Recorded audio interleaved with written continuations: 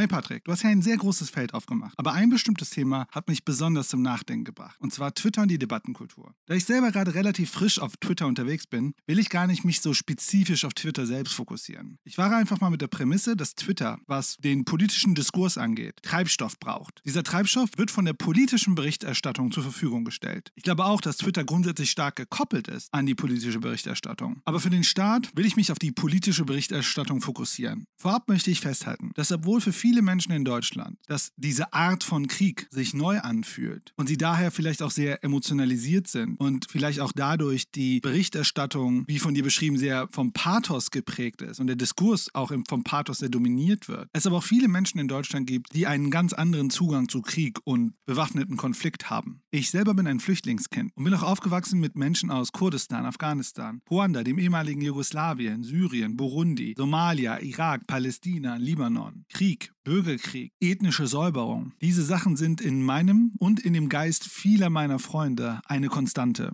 Ich führe das zur Kontextualisierung auf, damit vielleicht bestimmte Perspektiven, die ich habe, für andere nachvollziehbar sind. Aber wie du schon in deinem Skit gesagt hast, sollten wir versuchen, der Versuchung zu widerstehen, die formale Inhalte zu rezipieren und die Inhalte in der Form selbst suchen. Also, du hast in deinem Skit diese offenen Briefe angesprochen und eine daraus entstandene Debatte von Intellektuellen, ob man sie braucht oder nicht. Wie du schon gesagt hast, vereinfachen diese Briefe die Komplexität des Krieges auf einfache Handlungen und Prinzipien. In der Prämisse, dass Putin einen völkerrechtswidrigen Angriffskrieg führt und im groben Ziel ein Ende des Krieges, das Ukraine Souveränität erhält, sind sich beide einig. Abweichen wird es in der Frage, wie viel Waffen liefern oder nicht und wie viel territoriale Kompromisse sollen gemacht werden oder nicht. Wie gesagt, ich möchte diese Briefe nicht inhaltlich bewerten. In ihrer Einfachheit verkennen sie wohl die diplomatischen und militärischen Praxis. Und da müssen wir auch ehrlich sein. In den bürokratischen Prozessen und informellen Strukturen von Behörden zu arbeiten, kann auch nicht von Intellektuellen in einem offenen Brief mit klaren Standpunkten wiedergegeben werden. Dafür sind internationale Beziehungen zu komplex, die Realität der Arbeit viel kleinteiliger, Situationen vollkommen neu, Umfelde viel zu dynamisch, als dass man an taktischen Punkten wie Waffen liefern oder nicht einfach strikt festhalten kann. Aber was mich sehr irritiert hat in diesem Diskurs, ist der Beitrag von Jürgen Habermas. Habermas hat am 28. April einen Beitrag in der Süddeutschen Zeitung veröffentlicht mit dem Titel Kriege und Empörung. Schriller Ton, moralische Erpressung. Zum Meinungskampf ehemaliger Pazifisten, einer schockierenden Öffentlichkeit und einem Bundeskanzler nach dem Überfall auf die Ukraine. Ukraine. Der Beitrag an sich ist eine recht nüchterne Analyse des öffentlichen Diskurs im Kontext des Ukraine-Kriegs. Habermas nutzt nicht viel Pathos, sondern argumentiert rational und zeigt dadurch, in wie vielen Dilemmata wir stecken. Anders als die offenen Briefe gibt er keine konkreten Handlungsvorschläge, ob Waffen geliefert werden oder nicht und wie genau die Verhandlungen aussehen könnte. Aber wieder zurück zu meiner Irritation. Im Zuge dieses ganzen intellektuellen Diskurses wurde Habermas auf die Seite der, ich sag mal in Anführungszeichen, naiven Pazifisten gestellt. So zieht beispielsweise Simon Strauß von der FAZ am 30. April ein Vergleich zwischen Habermas und Alexander Gauland von der AfD, der wohl gesagt hat, dass eine Atommacht wie Russland diesen Krieg nicht verlieren darf. Ich finde Habermas mit der AfD gleichzusetzen schon, ich weiß nicht, welche Worte ich dann benutzen soll. Eine traurige Stunde für den Journalismus. Denn ich habe mich gewundert, wie es sein kann, dass Habermas einfach mitkategorisiert wird. Wie so oft hatte ich gehofft, dass mir ein wenig Theorie als Denkwerkzeug helfen kann, die Situation zu beschreiben. Heute machen wir einen Crashkurs in Luhmanns Theorie der Massenmedien, beziehungsweise speziell die der Nachrichten und Berichterstattung. Zum großen Teil beruht es auf seinem Buch Die Realität der Massenmedien aus dem Jahr 1996, wobei diese Theorie sich über 30 Jahre entspannt. Aber das ist ein anderes Thema. Zum einen unterscheidet Luhmann zwischen Nachrichten und Berichten. Nachrichten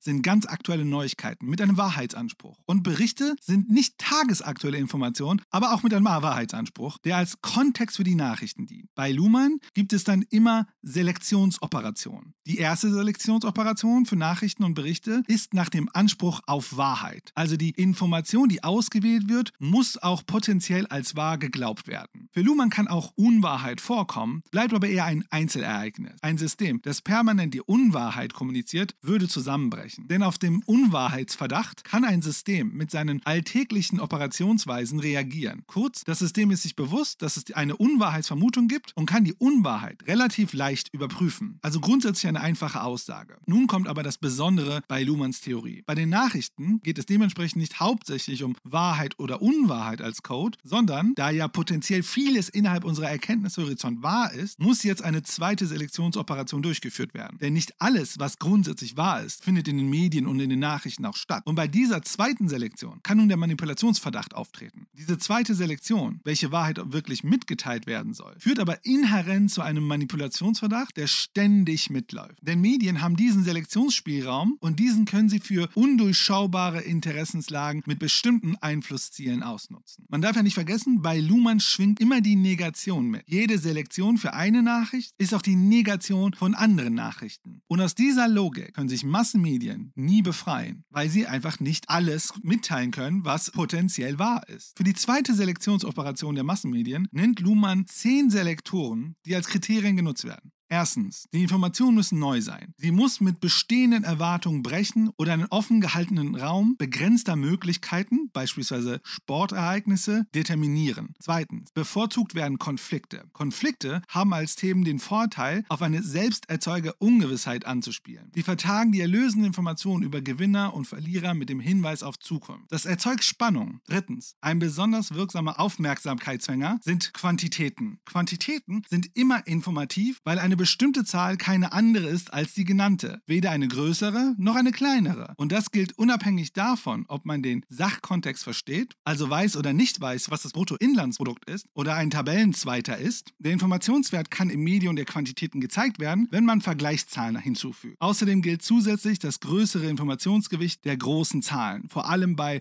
örtlich und zeitlich kompakten Ereignissen. Viele Tote bei einem Unfall, Riesenverluste bei einem Betrug. Viertens. Ferner gibt der lokale Bezug einer Information Gewicht. Vermutlich, weil man sich im eigenen Ort so gut informiert weiß, dass jede weitere Information geschätzt wird. Fünftens. Auch Normverstöße verdienen besondere Beachtung. Das gilt für Rechtsverstöße, vor allem aber für Moralverstöße. Aber auch für Verstöße gegen Political Correctness. In der Darstellung durch die Medien nehmen Normverstöße häufig den Charakter von Skandalen an. Sichtbar wird ein Normverstoß immer über die Abweichung von der Norm. Denn nur dann wird mittels Nachrichten darüber berichtet. Da solche Abweichungen vom Norm das Publikum sowohl aufwühlen, aber auch im Sinne von Betroffenheiten oder Entrüstungen zusammenschweißt, kommen Normen erst überhaupt in unserem Erkenntnishorizont vor. Und dadurch stärken Massenmedien Normen, indem sie die Abweichung uns zeigen. Sechstens, Normverstöße werden vor allem dann zur Berichterstattung ausgewählt, wenn ihnen moralische Bewertungen beigemischt werden können. Wenn sie also einem Anlass zur Achtung oder Missachtung von Personen bieten können. Insofern haben Massenmedien eine wichtige Funktion in der Erhaltung und Reproduktion von Moral. Dies darf allerdings nicht so verstanden werden, als ob sie in der Lage wären, ethische Grundsätze zu fixieren oder auch nur den Moralpegel der Gesellschaft in, in Richtung auf ein gutes Handeln anzuheben. Dazu ist in der modernen Gesellschaft keine Instanz imstande. Weder der Papst noch ein Konzil, weder der Bundestag noch der Spiegel. Man kann nur an den ertappten Missständen vorführen, dass solche Kriterien benötigt werden. Reproduziert wird nur der Code der Moral, also der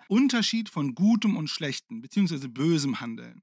Für die Festlegung von Kriterien ist letztlich das Rechtssystem zuständig. Massenmedien leisten nur eine laufende Selbstirritation der Gesellschaft, eine Reproduktion moralischer Sensibilität auf individueller wie auf kommunikativer Ebene. Das führt jedoch zu einer Art Disembedding der Moral, zu einem moralisierenden Reden, das durch keine kontrollierbare Verpflichtung gedeckt ist. Die Vorstellung von Moral und ihren laufenden Renovierung geschieht anhand von hinreichend spektakulären Fällen, im Vorführen von Schurken, von Opfern und von Helden, die unverlangbar Wunderbares geleistet haben. Der Empfänger wird sich selbst typisch keiner diesen Gruppen zurechnen. Er bleibt Beobachter. Siebten, um Normverstöße kenntlich zu machen, aber auch um dem Leser oder Zuschauer eine eigene Meinungsbildung zu erleichtern, bevorzugen die Medien eine Zurechnung auf Handeln, also auf Handelnde. Komplexe Hintergründe, die den Handelnden motiviert, können nicht voll ausgeleuchtet werden. Wenn sie thematisiert werden, dann um Verdienste oder Verschulden zu verschieben. Achtens, das Erfordernis der Aktualität führt zur Konzentration der Meldung auf Einzelfälle. Vorfälle, Unfälle, Störfälle, Einfälle, gemeldet werden Ereignisse, die bereits passiert sind, wenn sie bekannt gemacht werden. Neuntens, ein erheblicher Teil des Materials für, für Presse, Hörfunk und Fernsehen kommt dadurch zustande, dass die Medien einfach sich selbst spiegeln und das wiederum als Ereignis behandeln. Zehntens, all diese Selektionen werden verstärkt durch weitere ergänzt dadurch, dass es Organisationen sind, die mit Selektion befasst sind und dafür eigene Routinen entwickeln. Die Arbeit besteht in einem Einpassen von Informationen, die im System der Massenmedien schon weitgehend vorselektiert sind, in Rubriken und Schablonen. Für die Letztauswahl Auswahl spielen dann Zeit und verfügbarer Raum, freie Sendeminuten, freie Spalten eine ausschlaggebende Rolle. Die Operationen von Redaktion sind also Selektion von Informationen, die potenziell wahr sind, was im Grunde fast unendlich viel ist, und wenden dann die von Luhmann beschriebenen Kriterien bzw. Selektoren an. Diese einzelnen Elemente werden dann aus ihrer Außenwelt gelöst bzw. dekontextualisiert. Das ist vereinfacht die Kernoperation von Redaktion. Und wenn ich diese Perspektive ansetze auf die aktuelle Berichterstattung, wundere ich mich, wie wenig der Diskurs differenziert ist. Klar gibt es inhaltlich zahlreiche Berichte, aber sie alle laufen gefühlt immer auf zwei Pole zu. Der Diskurs wird im Grunde verdichtet in zwei Parteien, beziehungsweise die Partei für Waffen und die Partei gegen Waffen. Für die Partei für ein Gasembargo und für die Partei gegen ein Gasembargo und so weiter. Anscheinend selektieren die meisten Redaktionen nach einem Prinzip, dass der Diskurs in Pro- und Kontragruppen oder in Partei A und Partei B kategorisiert wird. Und das bringt mich zum Horse Race Journalism. Hier die Erklärung, was Horse Race Journalism ist, von Jay Rosen, Professor für Journalismus an der New York University. Well, horse race journalism is sort of a, a reusable model for how to do campaign coverage, in which you focus on who's going to win rather than um, what the country needs to settle by electing a prime minister. And it's easy to do because you can kind of reuse it sort of like a Christmas tree every year. And it requires almost no knowledge either. It kind of imagines the campaign as a sporting event, right? And everything that happens in the campaign can potentially affect the outcome. And so you can look at it as how is it going to affect the horse race? And every day you can ask who's ahead? What is their strategy? And I think this perspective appeals to political reporters because it kind of puts them on the inside, you know, looking at the campaign the way the operatives do. Diese Betrachtungsweise kann auch für andere politische Berichterstattung angewandt werden über den Wahlkampf hinaus. In einem aktuellen Interview in Übermedien ordnet Florian Zollmann, Senior Lecturer in Journalismus an der Newcastle University, die aktuelle Berichterstattung ein. So antwortet er auf die Frage, dass Medien gerade oft vom Ukraine-Helden Zelensky auf der einen und vom bösen Aggressor Putin auf der anderen Seite berichten und ob dieses gut-böse Schema ein Problem darstellt, wie folgt. Im Krieg versuchen alle Seiten, die Medien für ihr Narrativ zu gewinnen. Journalisten müssen aber die nötige Distanz zu politischen und militärischen Kriegsparteien wahren und im Nebel des Krieges die Aussagen aller Seiten faktisch einordnen. So sollte die Berichterstattung nicht nur Putin, sondern auch Zelenskys Aussagen kritisch beleuchten. In meinen Augen wird es immer problematisch, wenn man pauschal behauptet, dass die eine Seite so böse ist, dass Verhandlungen gar nichts mehr brächten. Des Weiteren wurden in den vergangenen Tagen sehr viel über die Waffenlieferung und Sanktionen gegen Russland gesprochen. Den Krieg, eher eskalierende Strategien rücken damit in den Vordergrund. In den USA und auch in der Ukraine, aber vor allem in der Friedensbewegung gibt es viele Stimmen, die sagen, dass es doch noch diplomatische Mittel gibt, den Konflikt zu lösen. Durch das gut-böse Framing rückt es aber eher in den Hintergrund. Besser wäre eine friedensjournalistische Perspektive. Das Konzept hat unter anderem John Galtung entwickelt, der Begründer der Friedens- und Konfliktforschung. Galtung hat festgestellt, dass Journalismus in Kriegszeiten oft polarisierend ist. Er sich also auf eine Seite des Konflikts stellt. Medien gucken dann auf den Krieg wie auf eine Sportveranstaltung. Wer sind die Gewinner? Wer sind die Verlierer? Und im Prinzip ohne konstruktive Lösungen einzubringen. Ohne zu schauen, was sind die verschiedenen Interessen? Was gibt es für Lösungsstrategien? Und wie kann man deeskalierend wirken als Journalist? Aber hier kommt noch eine weitere Beobachtung für die Berichterstattung zu tragen.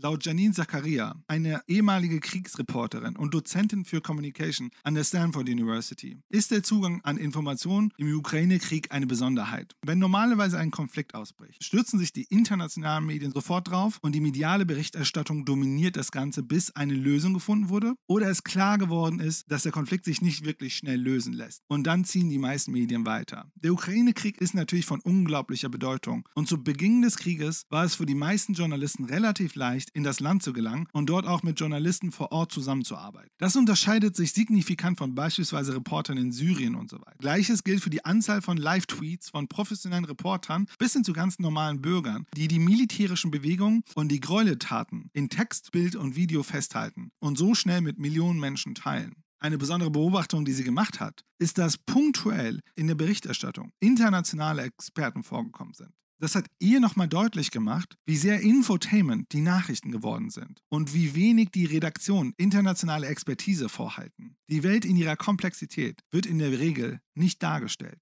Denn hier kommen wir zu einem weiteren Problem in der Berichterstattung im aktuellen Krieg. Wie ich schon am Anfang erklärt habe, ist Krieg in seiner diplomatischen und militärischen Dimension hochkomplex. Es ist unglaublich ausdifferenziert und nicht einfach zu konsumieren. Ein guter Freund von mir arbeitet als Diplomat. Er meinte mal zu mir, in internationalen Beziehungen gibt es kein objektiv und absolutes Richtig, kein Schwarz oder Weiß, sondern viele unterschiedliche Schattierungen von Grau. Und in einem Kriegsfall gibt es keine beste oder schlechte Lösung. Im Grunde sind alle Lösungen unterschiedliche Formen von schlechten Lösungen.